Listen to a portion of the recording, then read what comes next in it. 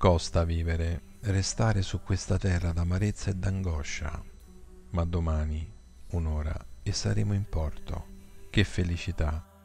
Come sarà bello contemplare Gesù faccia a faccia per tutta l'eternità, sempre, sempre più amore, sempre gioie più inebrianti, una felicità senza nubi.